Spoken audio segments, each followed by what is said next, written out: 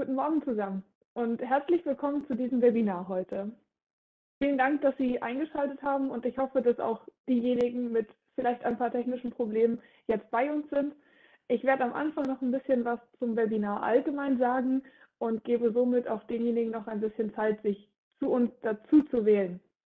Das heutige Webinar geht über das Thema Herausforderungen des Brandschutzes, ähm, speziell in der Papierindustrie. Was gibt es hier denn für Herausforderungen und wie können wir darauf reagieren? Was gibt es für Möglichkeiten in der Brandmeldetechnik und vor allem geht es hierbei nun um die videobasierte Branderkennung, diese Herausforderungen zu umgehen oder sie zu meistern. Das Webinar, worüber es heute geht, wird aufgezeichnet.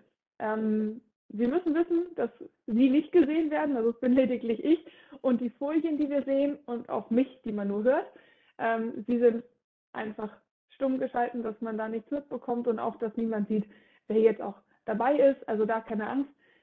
Es ist einfach nur, dass wir es auch als Backup haben für diejenigen, die sich heute nicht dazu wählen können und es gerne nachschauen wollen. Oder gegebenenfalls haben Sie auch an der einen oder anderen Stelle noch Fragen oder sind sich nicht ganz sicher, worüber wir gesprochen haben, sodass Sie das auch im Nachgang nochmal anschauen wollen. Wenn es Fragen gibt, die während des Webinars hochkommen, dann nutzen Sie doch gerne diese Q&A-Funktion ähm, des WebEx. Die finden Sie unten rechts, so wie hier angezeigt, auf der Folie. Und wenn Sie die öffnen, haben Sie die Möglichkeit, Fragen zu stellen.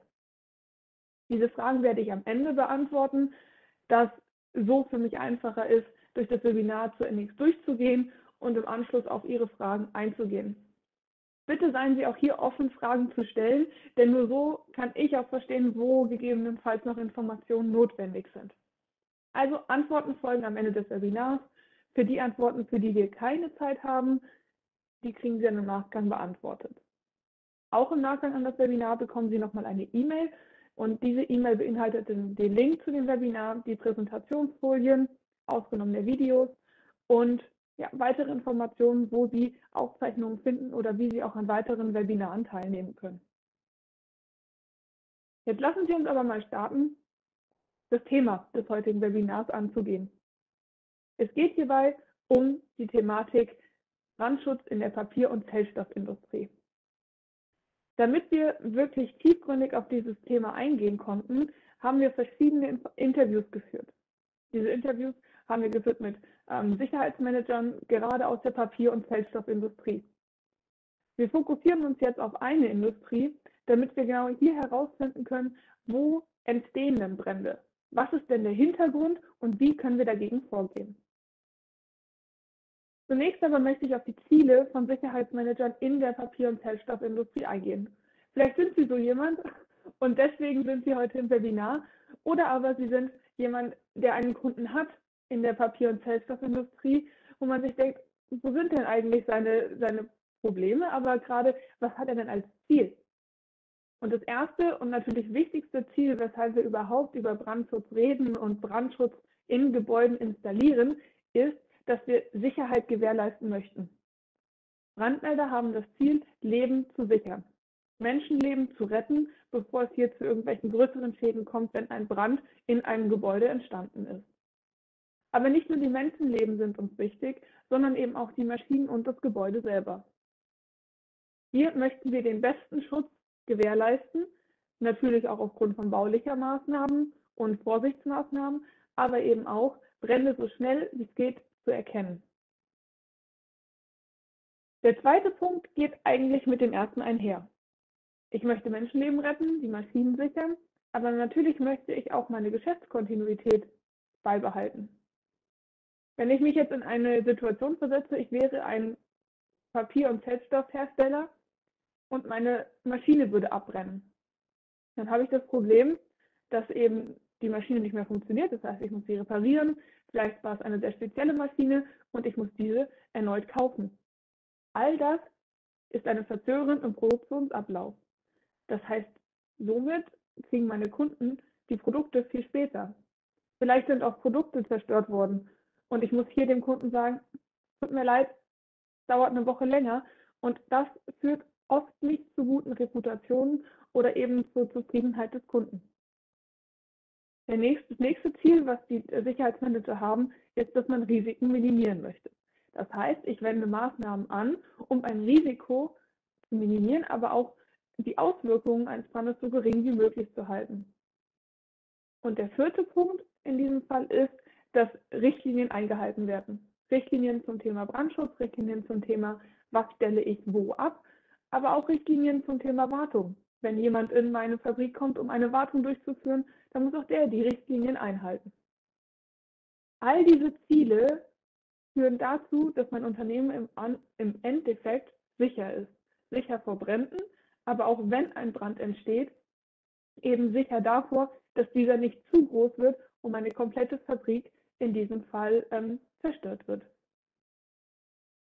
Jetzt habe ich von diesen ganzen Punkten geredet und man könnte sich jetzt denken, ja, sie sagt zwar, sie hat Interviews geführt, aber vielleicht zieht sie sich das auch nur aus den Fingern. Wir haben mal einen, eine Referenzkunden mitgebracht. Das ist ein Referenzkunde aus Ecuador. Ähm, dieser Kunde ist Inca Palm. Die produzieren Kartonagen für ähm, Bananentransporte.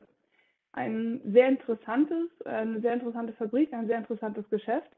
Und hier kommt schon der erste Punkt. Hier viel Papier, Industrie. Ja, was kann denn hier gegebenenfalls passieren oder was ist hier schon passiert? In dieser Fabrik hat es auch schon einmal gebrannt. Und der Kunde, der hier auch diesen, dieses Statement unten gesagt hat, der Sicherheitschef, meinte halt, dass er jetzt auf Aviotech gesprungen ist als Sicherheitslösung für sein, für sein Unternehmen, weil wir hier Innovation mit Schnelligkeit kombinieren können. Ähm, Menschen, also tatsächlich auch die Leute vor Ort, die sich eben das Videobild anschauen können, schnell agieren können, ich weniger Investitionszeit benötige und somit eine schnelle Lösung biete. Ähm, der Kunde hier in Ecuador hat bereits ein komplettes Lager ausgestattet mit Aviotech und wird jetzt oder hat jetzt auch im letzten Jahr ähm, weitere 24 Stück gekauft, um eben hier seine ähm, Produktion auch noch auszustatten mit der videobasierten Branderkennung. Das zweite Zitat, was ich mitgebracht habe, ist ein Zitat, was ich selber gehört habe von einem Kunden, der mir nämlich gegenüberstand und meinte, ja, das größte Problem, was ich eigentlich habe, ist, wenn ich abends nach Hause gehe, weiß ich, dass gewisse Maschinen weiterarbeiten können, auch wenn kein Mitarbeiter mehr in der Firma ist.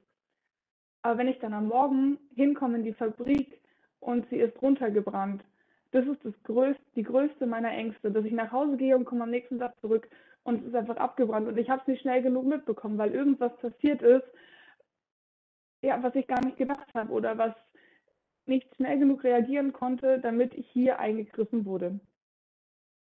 Ich denke, die zwei Beispiele spiegeln ganz gut wider, warum wir heute hier sind. Und ich möchte nun einmal darauf eingehen, wo sich eigentlich Gefahrenquellen oder welche Bereiche in der Papierindustrie eigentlich Gefahrenquellen wirklich darstellen für Brände.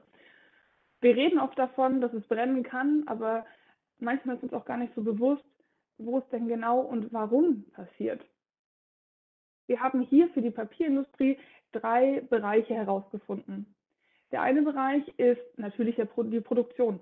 Also die Produktionsbereiche mit Maschinen, mit ähm, Trocknern, mit auch Papier, was hier schon gelagert wird, beziehungsweise auf den Förderbänder transportiert wird. Jetzt überlegen wir uns mal, dass so eine Maschine einen Motor hat, da ist Strom dahinter, ähm, da bewegt sich etwas und all diese Punkte können dazu führen, dass sie überhitzt. Und dieses Überhitzen in Kombination mit trockenem Papier auf der Maschine kann natürlich dazu führen, dass es sich entzündet. Das heißt, hier ist schon mal eine Quelle für einen Brand.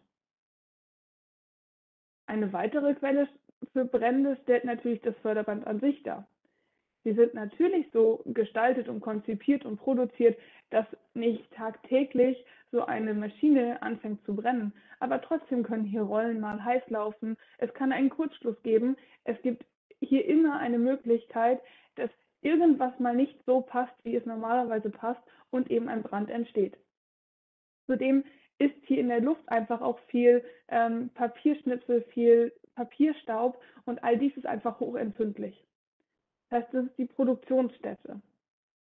Als zweiten Punkt sehen wir ähm, Wartungsbereiche, also so Serviceflächen, wo man sagt, dass hier Rohre ähm, ja, vorhanden sind, die auch mal nicht gut isoliert sein können. Das kann auch mal passieren, dass hier Gase austreten und somit eben Brände entstehen. Nicht nur die Wartungsbereiche an sich, sondern auch Beiwartungen in der Produktion können hier ja, Brände entstehen durch eben Schweißungsarbeiten, durch Hitzequellen, die danach noch sind, die man gar nicht gesehen hat. Man schweißt und in dem Moment fällt einem das nicht auf, man geht weg und im Nachgang entsteht dann wirklich nochmal ein, eine Hitze an dieser Fläche, wodurch dann eben ein Brand ähm, entstehen kann.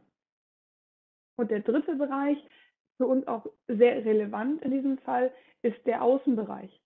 Überlegen Sie sich mal, Sie sind in der Fabrik und da ist alles super geschützt. Sie haben eine richtig gute Brandmeldeanlage, ähm, Sie haben auf alles geachtet, Sie haben wirklich dafür Sorge getragen, dass wir hier frühestmöglich einen Brandschutz oder ein, eine, ein Eingreifen eben ja, vonstatten gehen kann, wenn ein Brand entstanden ist. Jetzt gucken wir in den Außenbereich. Was ist da? Ist da etwas installiert, was Brände erkennen kann? Oder gibt es hier die Möglichkeit, frühzeitig auch einzugreifen bevor dieser Brand gegebenenfalls von einem Außenlager auf das Gebäude übergreift. Gerade hier, wenn die Papierblöcke so gestapelt werden, dass Gänge dazwischen sind, die als so eine Art Kamin fungieren können, wo ich verschiedene Witterungsbedingungen habe, Sonne, Regen, Hitze, all dies kann eben dafür sorgen, dass Papier auch austrocknet und sich selbst entzündet. Papier oder auch Materialien wie Kartonagen haben diese Last in sich, dass durch Hitze und Sonneneinstrahlung hier wirklich ein Brand auch einfach so entstehen kann, ohne Außeneinwirkung. Natürlich kann es auch passieren, dass gerade in Außenlagern mal jemand unbefugt das Gelände betritt, ähm, aber auch dem können wir entgegenwirken mit einer Installation von Überwachungskameras ähm, oder in dem Fall eine Kombination aus beiden. Jetzt haben wir mal diese drei Bereiche gesehen und gemerkt, dass nicht nur einer dieser Bereiche, sondern wirklich alle Bereiche dazu führen können, dass ein Brand entsteht und sich auch verbreitet.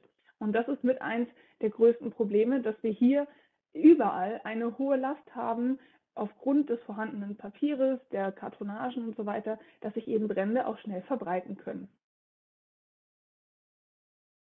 Jetzt reden wir am Anfang in dem Titel der Folie darüber, dass es Herausforderungen gibt und die wir heute in diesem Webinar mal umgehen wollen oder meistern wollen. Die Herausforderung, die ich sehe oder die auch wir gesehen haben für Standardbrandmeldetechnik in solchen äh, Industrien ist zum einen die hohe Brandlast, also das schnelle Ausbreiten von Bränden. Wenn ich hier nicht früh genug erkenne und ein Brandmeldesystem sehr lange braucht, um diese Brände zu erkennen, kostet es mich Zeit, es kostet mich im Endeffekt dann auch Reparaturkosten und weitere Produktionszyklen. Aber hier muss ich halt gucken, wenn ich eine hohe Brandlast habe, dass ich einen Brand schnell entwickeln kann, dass ich frühzeitig erkenne. Schwierige Umgebungsbedingungen. Da gehe ich vor allem darauf ein, dass es häufig staubig, aber auch feucht ist in der Papierindustrie.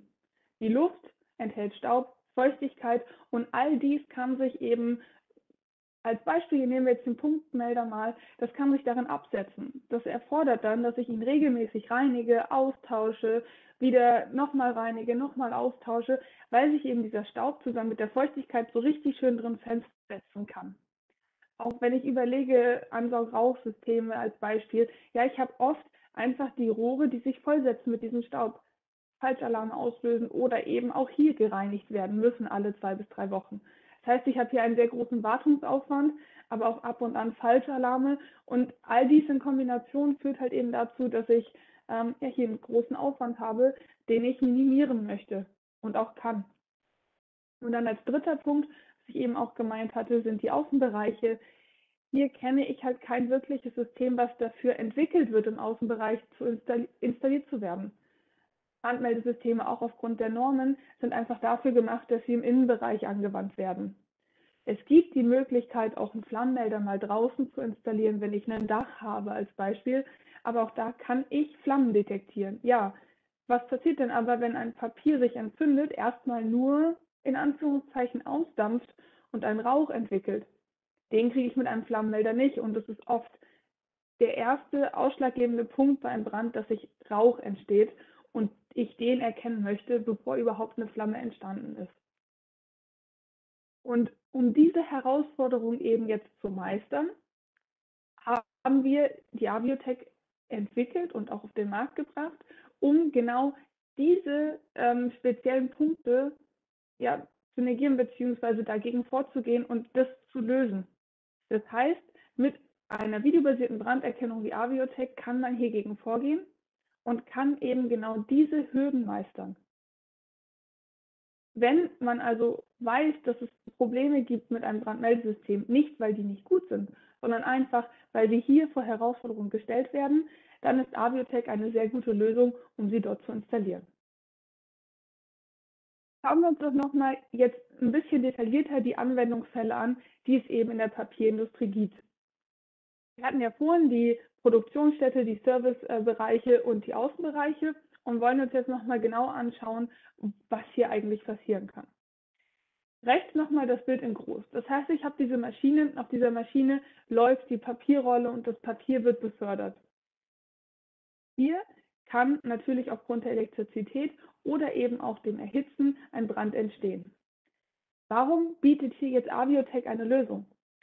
Wir können mit Aviotech als videobasierte Branderkennung direkt am Ursprung detektieren, dediziert auf die Maschinen achten. Das heißt, wir können sie so installieren, dass wir die Maschine im Blickfeld haben und bereits beim kleinsten Rauch an der Maschine erkennen können, dass, hier ein, dass hier ein Brand entsteht und dies weitergeben, die Maschine stoppen und dann automatisch hier eingreifen. Der zweite Punkt ist, warum hilft uns Aviotech in schwierigen Umgebungen? Aviotech als Kamera kann wie jede andere ähm, Sicherheitskamera auch in einem Gehäuse installiert werden. Die Installation in einem Gehäuse sorgt dafür, dass Staub und Feuchtigkeit kein Problem mehr sind für die Kamera. Das heißt, es setzt sich nicht ab in der Kamera, es beeinträchtigt sie nicht und durch die Konstruktion des Gehäuses habe ich auch kein Problem, dass sich der Staub oder die Feuchtigkeit so vor der Scheibe sammelt, dass ich praktisch nichts mehr sehe. Das ist der eine Punkt. Der andere Punkt ist der, dass mein Wartungsaufwand minimiert wird. Ich sehe ja, ob meine Scheibe jetzt beispielsweise so schwarz ist, dass ich nicht mehr durchschauen kann, dass ich rein theoretisch mit einem Lappen das Glas einfach ja, sauber machen könnte, um hier wieder dafür zu sorgen, dass die Kamera sieht. Nichtsdestotrotz haben wir gerade in staubigen Anwendungsbereichen gesehen, dass eben die Gehäuse wirklich so konstruiert sind, dass wir hier einen sehr geringen Wartungsaufwand haben, also selten reinigen müssen, das Glas, und eben dieser Aufwand auch gar nicht so groß ist wie beispielsweise bei anderen Meldern. Zudem habe ich hier auch nicht das Problem, dass ich ständig irgendwie austauschen muss oder wirklich ausblasen muss. Also in diesem Fall ist der Wartungsaufwand und die damit verbundenen Kosten hier auch geringer als bei ähm, einigen Standard-Brandmeldelösungen. Und als letzten Fall den Außenbereich. Und der ist für mich immer noch sehr interessant, weil ich, wenn ich den Außenbereich absichere, nun auch mit einer äh, Branderkennung, habe ich wirklich das komplette Gebäude abgesichert. Das heißt, ich habe im Innenbereich mein Brandmeldesystem, ich habe es im Außenbereich und zusammen kann ich wirklich meine komplette Anlage eben ähm, ja, gegen Brände schützen und hier auch die Branderkennung ja, vorhanden haben. Was natürlich auch ein Vorteil ist im Außenbereich, dass die Aviotech nicht nur als Branderkennung die, ähm, funktioniert, sondern auch äh, intelligente Videoanalyse nutzt, um beispielsweise unbefugtes Betreten eines Geländes oder auch unbefugtes Abstellen von einem, einem, einer Kartonage oder ähnliches an einem Ort, wo es nicht erlaubt ist, erkennen kann. Das heißt, all das läuft parallel zur Branderkennung. Somit kann ich sie auch an ein Videomanagementsystem anschließen. Ja, VMS mögen ja Abkürzungen, also Videomanagementsystem anschließen, sodass ich hier im Live-Bild sehe, okay, was geht hier eigentlich vor sich? Ist da jemand, der da nicht hingehört? Ähm, ist was abgestellt worden? Ist was weggenommen worden? All diese Möglichkeiten liefert die Abiotech zusätzlich zur Branderkennung. Jetzt habe ich relativ viel darüber gesprochen und fasse es nochmal ganz kurz zusammen, was wir jetzt gehört haben in den letzten Minuten. Also wir können Frühbrand erkennen, das heißt Rauch und Flamme. Wir haben bei schwierigen Umgebungsbedingungen wie zum Beispiel Staub und Feuchtigkeit, aber auch die Witterungsbedingungen im Außenbereich kein Problem mit der videobasierten Branderkennung. Jetzt sieht man die Aviotech auch mal. Wir kommen auch gleich noch zu sprechen, was sie eigentlich, also wie es eigentlich funktioniert, diese videobasierte Branderkennung. Wir bieten damit, dass wir einfach sehr schnell am Ursprung erkennen können, die Möglichkeit, schnell zu agieren und Geschäftsunterbrechungen zu minimieren bzw. auch zu vermeiden, je nachdem, wie schnell ich eben dann reagiere. Und weshalb wir das alles heute überhaupt machen, ist der Hintergrund, dass wir Aviotech eben schon sehr viel und häufig in der Papier- und Zellstoffindustrie eingesetzt haben.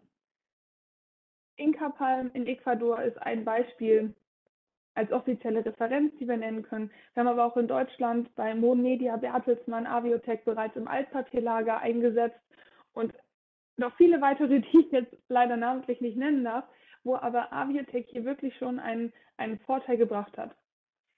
Kleiner Ausflug zu Mon Media. Von den Kollegen dort vor Ort haben wir tatsächlich auch schon mal ein Video bekommen, ähm, wo eine Echtauflösung von Aviotech aufgezeichnet wurde. Da lagen Papierschnipsel am Fußboden und die Sonne hat reingeschienen durch ein, ein, ein Glasdach. Und diese gebündelte Sonnenstrahlen durch dieses Glasdach haben dazu geführt, dass Papier ausgedünstet ist und angefangen hat zu qualmen. Und dieser Start, zum Glück ist nichts passiert, lagen auch nur ein paar Papierschnipsel dort, aber dieser Start einer Ausdünstung eines Rauches hat eben dazu geführt, dass ähm, ja, die Kollegen gemeint haben, wir müssen hier irgendwas tun. Wir müssen irgendwas an diesen Fenstern ändern, weil das kann so nicht weitergehen. Wenn wir da jetzt einen großen Papierblock hätten stehen lassen, dann hätte sich das definitiv entzündet. Also hier kann man auch erkennen, dass eben durch dieses Videobild die Möglichkeit besteht, zu wissen, warum ist denn das überhaupt entstanden? Warum ist mein Brand denn entstanden? Was war die Ursache? Und was kann ich präventiv gegebenenfalls auch tun, dass das einfach nicht mehr passiert? Relativ einfach, mit Aufzeichnung durch die Kamera ist dies möglich. So, jetzt habe ich Sie aber mitgenommen in die Papierindustrie und das, was Aviotech hier eigentlich leisten kann. Jetzt gucken wir uns doch nochmal ganz kurz an, wie funktioniert das eigentlich? Ich muss ehrlich sagen, ich weiß nicht, wer heute alles dabei ist und ich denke, die einen oder anderen haben, und ich hoffe es auch, schon einiges von Aviotech gehört. Wer es noch nicht gehört hat, wir sind so glückliche, dass Sie heute auch da sind und es sich anhören. Was ist es eigentlich? Videobasierte Branderkennung und funktioniert es in unserer Lösung in der Aviotech? Ich habe vier Videos mitgebracht. Zwei zeige ich jetzt am Anfang erstmal im Farbmodus. Die Aviotech läuft in einem Farbmodus oder auch in einem Schwarz-Weiß-Modus. Und was wir jetzt hier sehen können, ist unser Brandlabor hier in der Nähe von München, wo wir Testfeuer produzieren, damit unsere Standardbrandmelder testen, aber eben auch die Aviotech. Und was wir jetzt auf der linken Seite sehen, ist bereits eine Detektion von einer Flamme.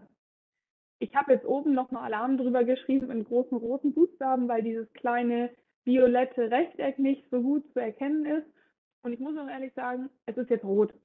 Also dieses Rechteck haben wir so verändert, dass es eben rot ist und dass man es noch besser sehen kann im Bild. Direkte Flammen können wir erkennen. Und auf der rechten Seite sieht man, dass wir auch Rauch erkennen können.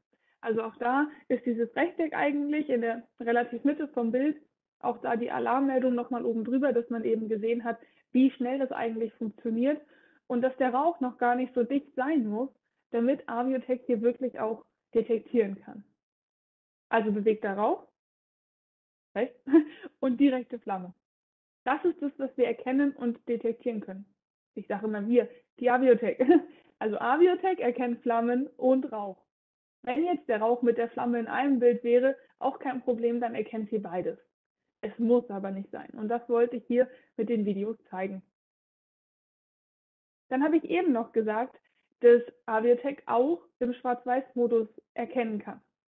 Hintergrund hierbei ist, dass wir jetzt auch bei Null Lux detektieren können, das heißt wirklich Dunkelheit, wenn zusätzliche Infrarotstrahler installiert wurden. Und das ist es, was man jetzt auf diesen beiden Videos sehen kann. Auf der linken Seite sieht man eine Flamme und jetzt sieht man auch in der Flamme schon dieses rote Rechteck. Was man auch ganz gut erkennt, ist, dass es da ein bisschen heller ist. Der Infrarotstrahler ist praktisch außerhalb von dem Bild installiert, damit die Szene eben beleuchtet ist. Wir können es nicht sehen, aber die Kamera nutzt es eben, um hier ähm, die Flamme ähm, und den Rauch erkennbar zu machen. Auf der rechten Seite sehen wir das gleiche nochmal. Ich starte hier das Video nochmal neu. Was man jetzt auch ganz gut erkennen kann bei dem Rauch, diese Umrandung, die kein Rechteck ist, das ist eine Bewegungserkennung von der Kamera. Das ist das, was sie nutzt, um eben auch die intelligente Videoanalyse ähm, ja, na, vollziehen zu können. Jetzt sieht man auch das gelbe Rechteck, das ist dann praktisch der Brandalarm. Das heißt, diese, diese etwas kuriosere Umrandung ist wirklich nur die Bewegungserkennung. Sobald aber das Rechteck erscheint, haben wir hier den Alarm und dieser wird dann eben weitergegeben an ein angeschlossenes System. Das sehen wir jetzt auch nochmal hier anhand ähm, eines Schemas. Die Aviotech als Kamera hängt in einem Gebäude, wird dort installiert oder auch im Außenbereich, überwacht einen bestimmten Bereich. Alles, was in dem Blickfeld der Kamera nun passiert, wird analysiert. Sobald eine Flamme oder ein Rauch entsteht, arbeiten die Algorithmen, die sich direkt auf der Kamera befinden. Das heißt, wir brauchen keinen Server, wir brauchen ähm, kein irgendwie anderes angeschlossenes System. Das läuft wirklich alles direkt auf der Kamera. Sobald die Flamme und der Rauch für eine bestimmte Verifikationszeit hier angestanden haben im Bild, ist es so, dass der Alarm getriggert wird und eben ange das angeschlossene System weitergegeben wird. Hier scheint gerade die Sonne ganz schön rein. Ich werde ein bisschen nicht wundern, dass die Sonne gerade mal kurz rausschaut. Das angeschlossene System in diesem Fall kann ein Videomanagement-System sein, kann aber auch das Relais an der Kamera genutzt werden und an einer Brandmeldezentrale einen internen Alarm schalten, einen Hausalarm, irgendwie etwas, damit man dann sich das Videobild anschaut, um zu sehen, okay, was ist hier vor, was geht hier vor sich, was passiert hier, um dann eingreifen zu können. Nutzen Sie die Möglichkeit, dass es ein Videobild gibt. Ich für meinen Teil finde es super. Mein Vater ist Feuerwehrmann ähm, und man hört immer wieder, dass es einfach so hilfreich ist, zu sehen, was eigentlich wirklich vor sich geht. Stellen Sie sich vor, Sie haben eine Pforte oder Sie wollen es auf Ihrem Handy sehen, Sie haben einen Sicherheitsmanager, der nachts da ist oder wie auch immer. Es passiert was in dieser Anwendung und Sie können nun über das Videobild sehen, was da eigentlich genau passiert. Wie weit ist denn der Brand schon entwickelt? Befinden sich da noch Menschen? Gibt es Material, was da noch liegt, was hochempfindlich ist? Ja, irgendwas Flüssiges, irgendwas, was jetzt hier noch dazu führen kann, dass der Brand sich extrem entwickelt. All das ist halt über das Videobild dann sehr einfach einsehbar. Und Aviotech gibt ja das Bild auch gleich da, sobald der Alarm da ist. Nutzen Sie das. Auch wenn es an eine Brandmeldezentrale angeschlossen wird, als interner Alarm oder ähnliches, kann ich ja dann das Videobild nutzen, um zu verifizieren und zu schauen, okay, was geht hier vor sich. Wie funktioniert das? Also was ist eigentlich die Technologie hinter ähm, Aviotech? Wir haben zwei verschiedene Algorithmen, die zum Teil auf einem Modell aufbauen und zum Teil aus künstlicher Intelligenz bestehen. Hat sich auch im Laufe der Zeit entwickelt, falls jemand dabei ist, heute im Webinar, der vor ein paar Jahren mal schon was über Aviotech gehört hat. Das Flammenmodell an sich ist gleich geblieben. Eine Flamme hat einen Flammenkern, eine bestimmte Flammenform es gibt ein Flammenflackern und im Verhältnis zum Hintergrund eine bestimmte Beleuchtungsstärke. Das sind die drei Punkte, auf die Aviotech achtet. Wenn das vorhanden ist, gibt es auch noch mehr Algorithmen dahinter und Varianten, aber das sind jetzt mal so die drei Hauptpunkte.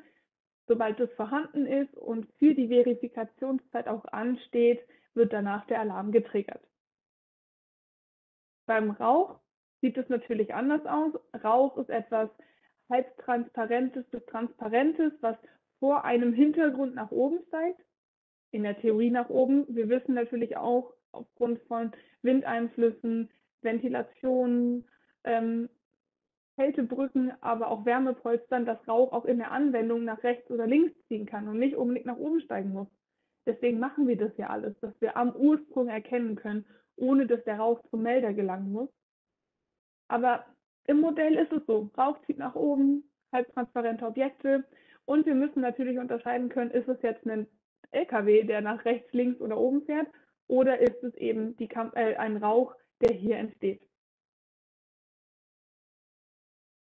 Zeittechnisch für den Rauch brauchen wir so ungefähr ja, 8 Sekunden, 4, 4 Sekunden Detektionszeit und dann nochmal 16, 20, 30 Sekunden ähm, für die Verifikation. Das kann man eben individualisieren. Und für Flamme liegen wir bei 2 Sekunden Erkennungszeit plus nochmal 12 oder 14 oder auch 16 Sekunden Verifikationszeit.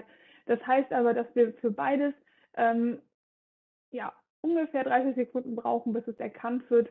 Und das im Vergleich zu einem, zu einem Melder, der immer an der Decke hängt, wenn ich hohe Decken habe, ist hier ein entscheidender Zeitvorteil. Jetzt gucken wir uns aber kurz an, was eigentlich der künstliche Teil in diesem Algorithmus ist, der neu dazugekommen ist. Wir haben diese Informationen aus dem Algorithmus, die ich eben gezeigt habe, also Rauchdichte, wie turbulent ist der Rauch, was sagt die Farbanalyse, wie ist denn die Beschleunigung von der Flamme und vom Rauch. Und diese Informationen gehen mit der künstlichen Intelligenz auch wieder alles in der Kamera. Also nicht denken, dass wir jetzt was anschließen, alles in der Kamera. Und diese künstliche Intelligenz ist so trainiert, dass sie anschließend entscheidet, ist dies eine Flamme oder ein Rauch oder nicht. Was ermöglicht uns das? Die Kombination aus ähm, einem handgeschneiderten Algorithmus in, mit einer künstlichen Intelligenz bringt uns dazu, dass wir jetzt sagen können, uns reichen zwei Lux Beleuchtungsstärke aus, ähm, damit wir Flammen und Rauch erkennen. Aber wenn wir unter diese zwei Lux kommen, können wir Infrarotstrahler installieren, um auch hier detektionsfähig zu sein.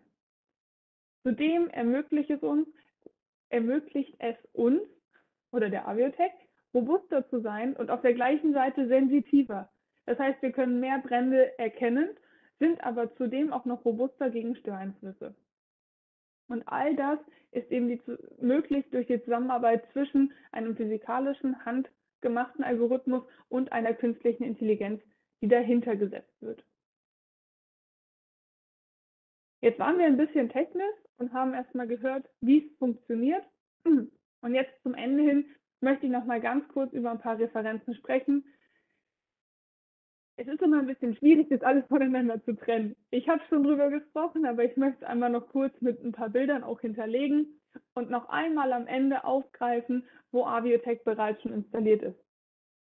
Inca Palm, die Firma in, in Ecuador, die hat eben Kartonagen installiert, äh, produziert für Bananentransporte die hatten wirklich ein Problem und haben gesagt, sie möchten die Reaktionszeit verbessern und haben deswegen Aviotech installiert, weil es für sie eines der schnellsten und modernsten Detektionssysteme ist.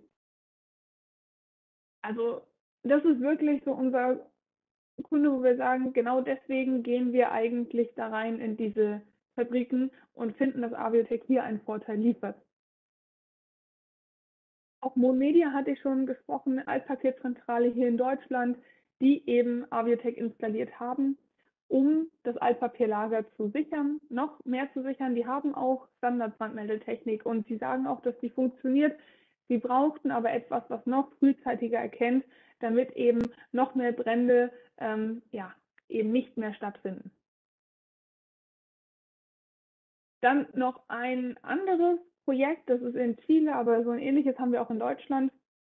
Ein automatisiertes ähm, Lager für Kartonagen. Und hier ist das Problem, dass die Regale für ein Ansaugraufsystem nicht die Stabilität gehabt hätten. Die wurden irgendwann produziert, als es hieß, nee, Sprinklersystem. Da hieß es, dass das Sprinklersystem an der Decke ausreicht. Und dann kam die Versicherung erneut hin und meinte, ja, hm, die neuen Vorgaben sagen, wir brauchen jetzt auf jeder Ebene ein Sprinklersystem. Hat der Kunde halt gesagt, Leute, das kann ich nicht machen, funktioniert nicht halten die Regale nicht aus und zudem ist es ein automatisiertes Lager. Das heißt, jeder Regal, jede Regalebene passt sich an. Ein Roboter bringt die Kartonagen, die haben eine bestimmte Höhe, die Regalebene passt sich an und dann wird es weiter transportiert. Sollte das mal nicht 100% funktionieren, Entschuldigung, dann habe ich das Problem, dass eine Kartonage auch so einen Sprinklerkopf mal abtrennen kann. Und wir wissen, was dann passiert. Papier und Wasser verträgt sich auch nicht so gut. Und dieses Wasser brauche ich auch nicht unbedingt in meiner Fabrik, wenn ich weiß, wie lange das schon in dem Behälter gestanden hat. Und hier haben wir mit Endkunden und Versicherung und Sachverständigen zusammen ähm, Testaufbauten gemacht mit Aviotech. Und hier ist es tatsächlich auch so geworden, dass Abiotech ein Teil des Brandschutzkonzeptes ist und somit hier die Lösung für die Versicherung auch darstellt. Das heißt, hier musste nicht zusätzlich noch ein EN-zertifiziertes Produkt installiert werden. Hier hat Aviotech praktisch in dem Sinne auch ausgereicht. Dann fahren wir gerade einen ähm, Test. Das heißt, wir haben noch keine Installation in dem Fall, über die wir berichten können, weil das erst ähm, Mitte letzten Jahres auf den Markt gekommen ist. Dass Aviotech halt auch im Außenbereich, im geschützten Außenbereich installiert werden kann, das heißt mit Dach oder nah an einem Gebäude. Aber hier haben wir schon einige Testinstallationen auch gefahren, ähm, gerade auch in der Industrie, im Bereich Außenlager, wo eben Aviotech sehr gut frühzeitig Flammen und Rauch eben auch in diesen Außenbereichen erkennen kann.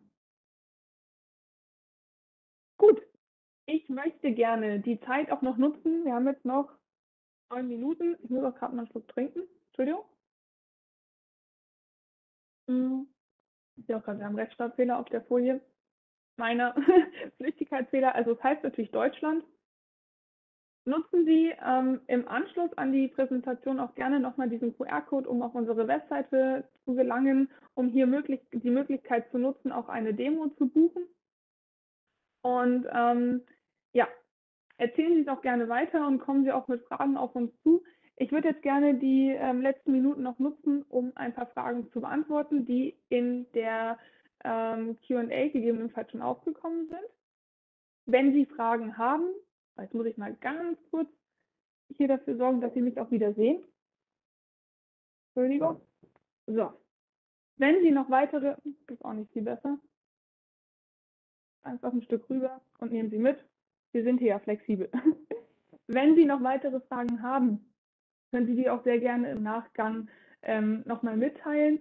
Ähm, eine Frage, die gerade aufgekommen ist, was denn nun der geschützte Außenbereich eigentlich genau ist weil wir immer davon reden, dass man Aviotech halt eben im geschützten Außenbereich installieren kann. Was bedeutet denn geschützter Außenbereich?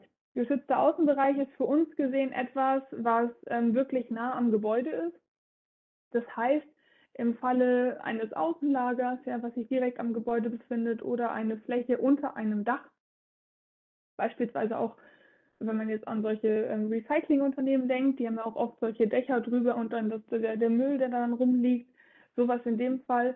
Wir reden hier halt nicht von einer Waldbranderkennung als Beispiel oder so Riesenflächen wie so Solaranlagen auf so einem freien Feld, wenn man hier sagen muss, ähm, dass das von der Distanz einfach alles auch noch zu weit ist. Wir können mit der Abiotech mit dem Standardobjektiv 60 Meter weit schauen und erkennen, mit anderen Objektiven auch teilweise bis zu 300 Meter, aber ähm, so drei, vier Kilometer in die Entfernung. Das ist einfach nicht so möglich. Und ähm, ja, da müssen wir halt sagen, dass wir halt jetzt uns auf diesen geschützten Außenbereich fokussieren. Mm, eine andere Frage ähm, war noch, wie Aviotech bezüglich ähm, Zertifizierung steht. Ähm, Aviotech besitzt eine VDS-Zertifizierung seit 2017 und 2019 ist auch ein Standard vom VDS auf den Markt gekommen, wo äh, man jetzt seine praktisch videobasierte Branderkennung dran zertifizieren lassen kann. Bei Aviotech ist es oder bei videobasierter Branderkennung im Allgemeinen ist es der Fall, dass der EN oder auch die ISO noch keinen wirklichen Standard haben. Also es gibt keinen Standard, aufgrund dessen man Aviotech zertifizieren lassen kann. Und deswegen gibt es hier einfach noch kein, keine Zertifizierung bei EN oder ISO. Daran wird gearbeitet und ich denke, dass da in Zukunft auch irgendwann was kommen wird, weil es immer mehr vom Markt auch gefordert wird. Aber ähm, ja, das ist in dem Fall halt noch nicht möglich und ähm, deswegen ja, hoffen wir einfach, dass die ein bisschen schneller werden und da auch eine Zertifizierung auf den Markt bringen. Ähm, dann ist die Frage gekommen, kann ich Aviotech an jedes Bosch ähm, Brandmeldepanel praktisch hängen? Als mit einem Relaiskontakt kann ich das tun. Also ich kann das ähm, als Relaiskontakt ausschalten auf eine Brandmeldezentrale. Jedoch muss ich hier darauf achten, dass dadurch, dass es nicht EN-zertifiziert oder systemzertifiziert ist, ich hiermit keinen externen Alarm triggern darf. Das heißt, ich kann es als internen ähm, Alarm halten ähm, dass ich praktisch einen Hausalarm irgendwie habe oder einen internen Alarm und dann jemand es überprüft und mit einem äh, ja, Handmelder dann praktisch einen externen Alarm auslöst, eben weil es keine EN-Zertifizierungsmöglichkeit für AVIOTech gibt, ähm, können wir sie nicht zulassen nach EN, weil es diesen Standard nicht gibt und deswegen kann sie auch nicht ähm, einen externen Alarm triggern. Wir hoffen wirklich, wie gesagt, dass EN, 4, also dass EN irgendwann eine EN54-Norm für videobasierte Branderkennung auf den Markt bringt, dass wir dann auch die Möglichkeit haben, Aviotech danach zu zertifizieren. Ich denke, es wird noch dauern, weil der EN oft darauf wartet, was der ISO macht. ISO ist gerade dabei, eine, einen Standard, also eine Testspezifikation zu erstellen für videobasierte Branderkennung. Und wenn die durch ist, dann hoffe ich, dass der EN das auch adaptiert. Nichtsdestotrotz haben der VDS und auch Boss selber Aviotech sämtlichen Testfeuern unterzogen im Brandlabor. Also die Testfeuer, die man auch aus der EN, äh, aus den EN-Normen kennt, die hat Aviotech alle detektiert. Also da sind wir ähm, von der Hinsicht fahren wir da sehr gut, dass eben die auch alle im Zeitrahmen natürlich erkannt werden, um einiges früher, aber ähm, es gibt einfach, wie gesagt, keine Norm. Deswegen müssen wir hier schauen, wo sie zusätzlich hilft und wo sie dem Kunden eben den Mehrwert bietet, früh zu erkennen und die wirklichen Probleme, die man eben hat, zu lösen. Gut, ähm, dann würde ich sagen, ich bedanke mich sehr bei Ihnen allen für Ihre Aufmerksamkeit. Äh, es tut mir leid, dass ich zwischendurch jetzt mal so ein paar Lichtprobleme hatte, aber ich hoffe, dass es trotzdem geklappt hat. Der wichtigste Teil ist auch die Präsentation und nicht, ähm, dass Sie mich immer sehen. Ich hoffe, dass es Ihnen was gebracht hat, auch zu verstehen, warum Aviotech, auch wenn es ein Zusatzprodukt ist zu den bestehenden Brandmeldetypen, ähm, dass Aviotech eben ein ja, wirklich zielführendes Produkt ist, da wo ich einfach mit meinen Standardbrandmeldern nicht mehr weiterkomme oder auf Herausforderungen stoße. Ähm, ich habe noch eine Frage gerade reinbekommen. Gibt es Wirksamkeitstests vor Ort für die Aviotech? Wir führen normalerweise bei jedem Projekt, was es gibt, ja, ich sage jetzt jedes, aber für mich sind es jede, ich glaube, es sind 90 oder 95 Prozent der Projekte, wo wir das machen, dass wir wirklich eine Aviotech installieren, einen Rauch, einen Flammentest machen. Das sieht man jetzt auch hier auf dem Bild ganz gut. Hat man halt die Aviotech hier in den Vordergrund gestellt und hat dann hier hinten Rauch und Flamme mal produziert, um zu sehen, wie funktioniert es denn? Funktioniert es auf die Entfernung? Funktioniert es da, wo ich es als Kunde auch möchte, dass es funktioniert, um eben zu zeigen, ja, in der Anwendung geht es. Wir haben teilweise Aviotech auch für drei Wochen installiert gehabt, um zu sehen, ob es funktioniert, ob es klappt, ob es auch in dem Alltag integrierbar ist. Ähm, wie muss ich meine Einstellung anpassen? Muss ich sie ein bisschen robuster stellen oder sensitiver lassen? Ähm, das sind einfache Einstellungsmöglichkeiten mit so zwei Slidern, aber auch das kann man natürlich in solchen Wirksamkeitstests vor Ort eben erkennen. Also da gerne hier über, über den QR-Code, ähm, über das Handy oder auch so einfach auf unsere Webseite gehen. Wir haben dann ein Formular, was Sie ausfüllen können oder Sie wenden sich direkt an Ihren ähm, Partner vor Ort bei Bosch. Ähm, und wenn mich das oder uns das erreicht über diese Webseite, dann leiten wir das weiter, dass Sie auch eine Demo vor Ort bekommen mit Aviotech und dass man sich Ihr Projekt eben auch anschaut wie gesagt, da gerne auf uns zukommen. Ähm, wir freuen uns auch über Feedback zu dem Webinar. Ähm, ich würde mich freuen, Sie nochmal in einem anderen Webinar wiederzusehen und wünsche Ihnen erstmal noch einen schönen Tag und hoffe, dass ich Ihnen eine abwechslungsreiche, interessante Dreiviertelstunde bereitet habe. Und genau, ich freue mich, wenn ich Sie das nächste Mal wieder höre und bedanke mich. Bis dahin und noch einen schönen Tag.